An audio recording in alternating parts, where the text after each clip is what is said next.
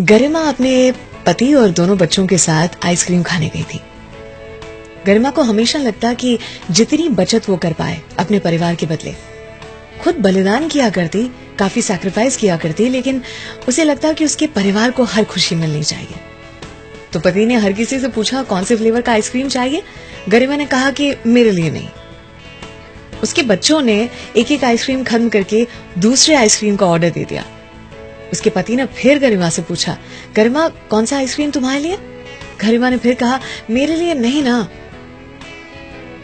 गरिमा को लग रहा था कि वो जो बचत कर रही है, वो उसके परिवार की खुशी में काम आएगी। बच्चे ज़्यादा खुश हो जाएँगे, एक और आइसक्रीम खा लेंगे। उसके पति ने गरिमा से कहा, गरिमा, अपने साथ और मेरे साथ ये मत करो। मुझे खुश खुशहाल बीवी चाहिए, एक बलिदान की मूर्त नहीं। एक समय आएगा जब मैं और तुम्हारे बच्चे ये अनुमान लगा लेंगे कि तुम्हें तो कुछ चाहिए ही नहीं। और इसलिए हम शायद तुम्हें पूछना भी बंद कर देंगे और तब तुम अपने वजूद को खोजती रहोगी। कहोगी अपने आप से कि कोई मुझे पूछता तक नहीं, मेरी किसी को परवाह ही नहीं। यू नो जो बलिदान करते हैं, वो आगे चल के बहुत कड़वे हो जाते हैं। गरिमा ने अपने पति की बात सुनी और उसे ना चाहते हुए भी अपने परिवार की कुछ बूढ़ी औरतें याद आने लगी थी।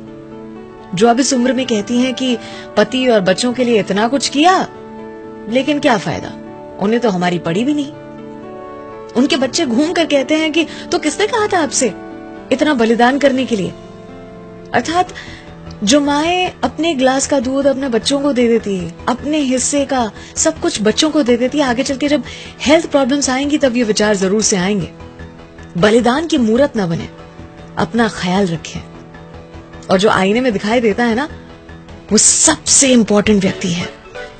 उसका ध्यान रखना आपका फ़र्ज़ है। एरोप्लेन में भी सिखाते हैं ना इमरजेंसी के टाइम पे अपना ऑक्सीजन मास्क पहले लगाएँ, दूसरे की मदद बाद में करने जाएँ।